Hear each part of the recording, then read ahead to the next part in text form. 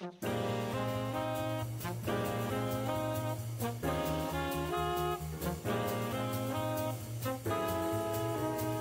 is a legend. He's one of the greatest saxophone composers ever, you know.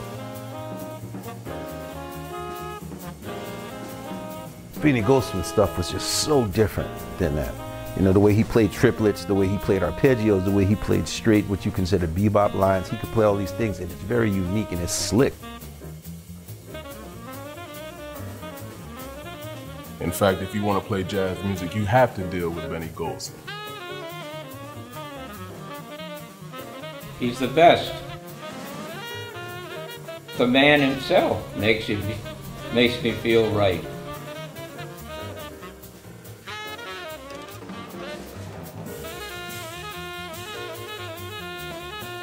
If you meet him in the street and he didn't have his instrument, you would think he was doctor, lawyer, or something like that.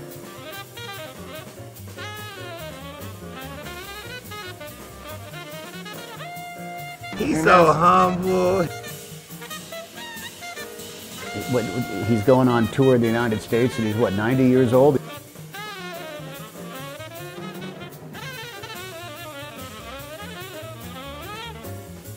Well, Benny's man is, he's right there.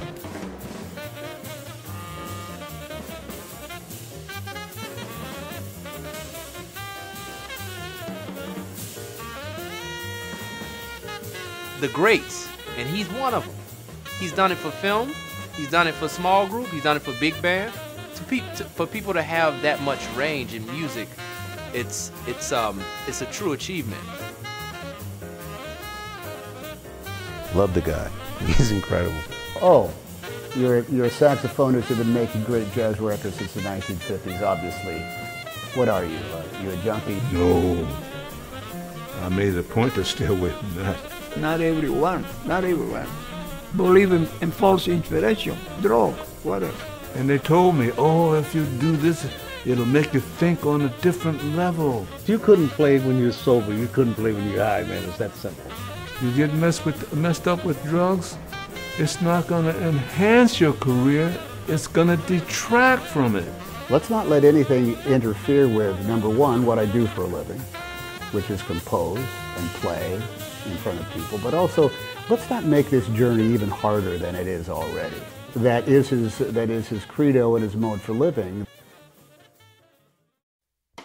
He's a prolific writer of music.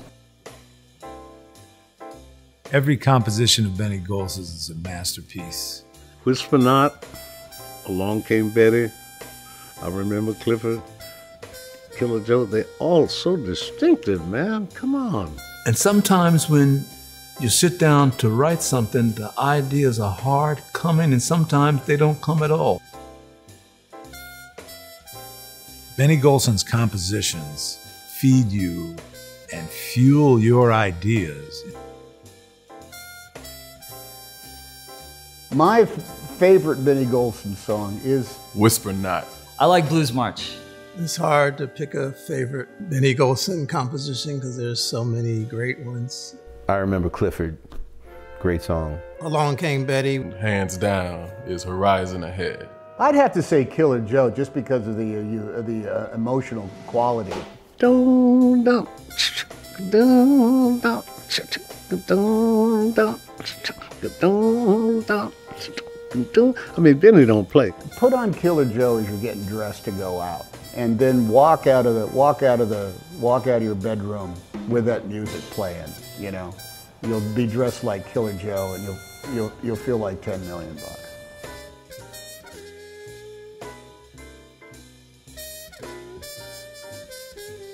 When I wrote Killer Joe, my wife told me would never make it. Who knows? Now, I didn't know. Students ask me that, which my favorite song, and I always tell them the same.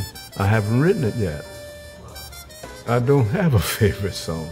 All of his songs have the story embedded in every element of it. It's it's all very nuanced. The bass line really has a purpose. The the melody line really has a purpose that works together with the bass line. The harmony, there's counter melodies. You know, there's colloquialisms. there's things that he brings in from the culture that make it hip and, and, and part of the times. You know, it's just all there.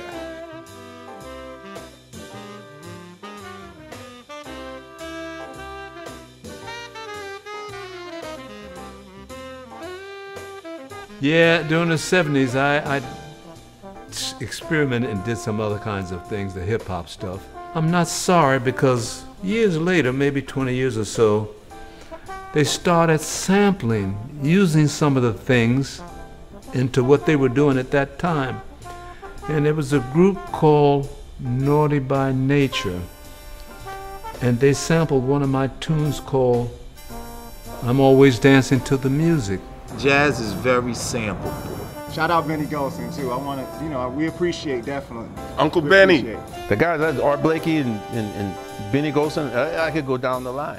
And Max Roach and Michael Carvin and uh, Harold Mabern. No, they weren't influenced. They were R&B players. They were dance band players. Some people, you know, they think of jazz as something where, yeah, anything goes. No, it's very specific, and that's why it's danceable. You want to talk about the bands and being on the road. In those days, you didn't fly from place to place. It was usually the train or bus or a car, and it's usually the car.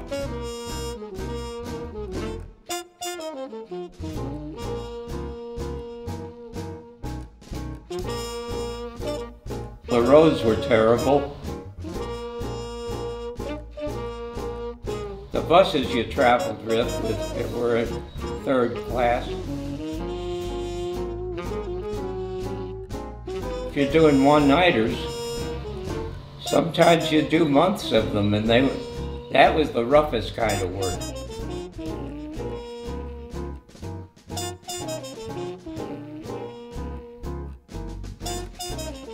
It was a great life, great experience. Nothing like it. We played it all over the South, of course.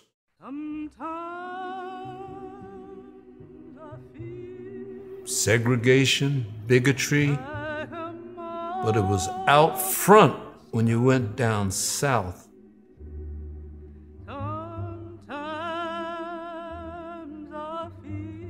But it was horrible, man. It was ho- absolutely horrible.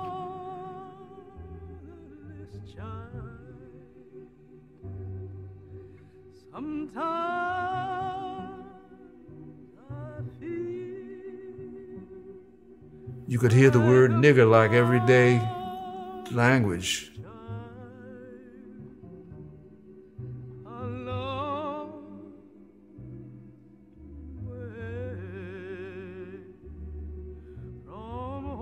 We'd get into Dallas, and the biggest church in town had a rope around the steeple and a black dummy on it.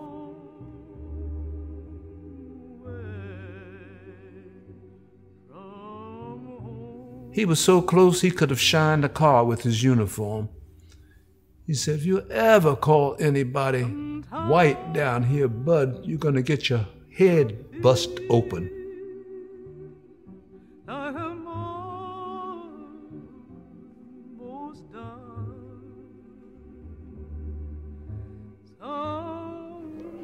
We got through, man. But it's a crazy time.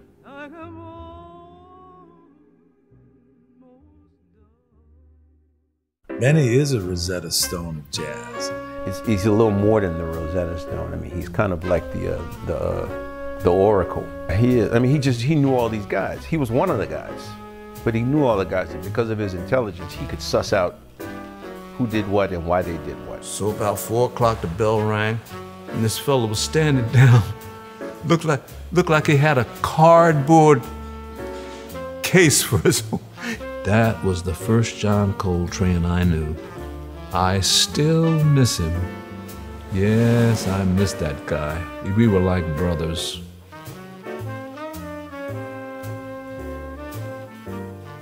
The Bible speaks about people being greased a certain way spiritually. It was though I was greased with the knowledge of Dizzy Gillespie. And he showed me things that I never knew existed. It was more than a lesson, it was a revelation. He said, You know that tune you gave me? I said, Yeah. He said, We recorded it. I said, What? Miles recorded my tune? He said, Yeah, he dug it. Wow. Now, all these lead sheets I'd been giving out, nobody paid any attention to. When they saw my name there and that Miles Davis had recorded my tune, Where's that lead sheet that Benny gave me? They started record my stuff.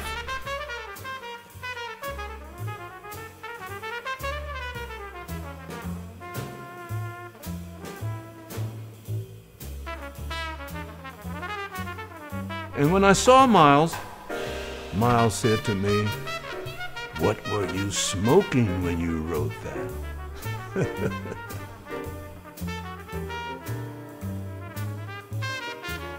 Art Farmer. I never knew that he was to be such an important part of my life. The sound that he got from that trumpet, I'd never heard anything quite like it. We eventually got together and we formed a group called the Jazztet, and the rest is history. The um, Jazztet recording is a classic. Guys would just solo forever. Where suddenly I realized, yeah, this really isn't the most effective way to do this. If we got an hour at the Village Vanguard, it would be more effective if we played six songs than if we played three. People would, their attention span uh, couldn't handle that when you listen to the Jazztet records, uh, Benny and Art figured this out 50 years ago. they would just. So we talked about it. Now, the bass player was going to be his twin brother, Addison, and the drummer was going to be Dave Bailey. They worked together with Gerry Mulligan. I'd heard first heard Curtis Fuller when I was playing with Dizzy Gillespie, and I said, that's the first trombone player I heard play like Miles Davis, play so hip. Now, the piano player, and he was only 19 years old. His name was McCoy Tyner. Jazztet came together with such an amazing sound. I think its legacy will live on as one of the major groups of all time in jazz. The year was 1958. I was playing a club in Washington, D.C. with Art Blakey and the Jazz Messengers. And I looked down one night, and there was a lovely young girl sitting there. But that young girl had everything. And when I finished the set, I went down and asked her what was her name. And she told me Bobbie Hurd. Eleven months later, in March, that's when I married her. She's still my sweetheart. We've grown old, wrinkled, I lost my hair, but we're still together.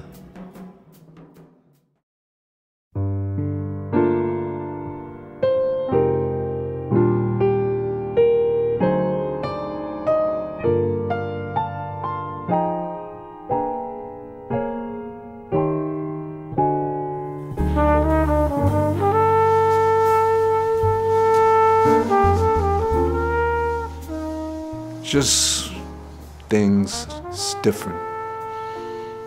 After 60 years, that's what I'm going through now, and it's terrible. A broken heart, that's what I have. Okay.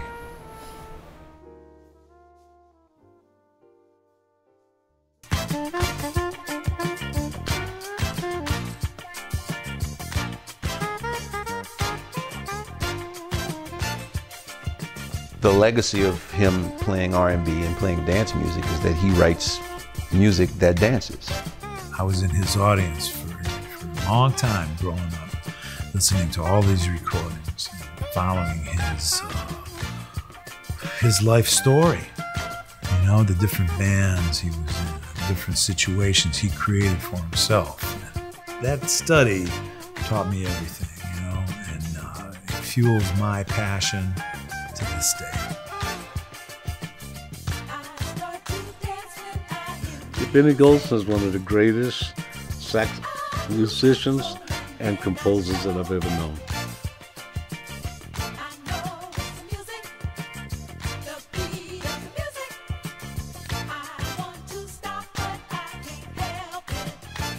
If we have that creative spark within our makeup, there's no stopping. We want it to continue. So metaphorically, it's like going beyond the horizon.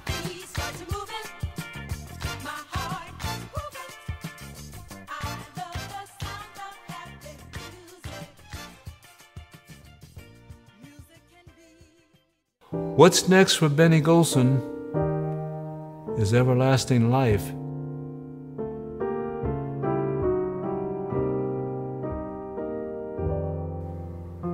That's looking beyond the horizon.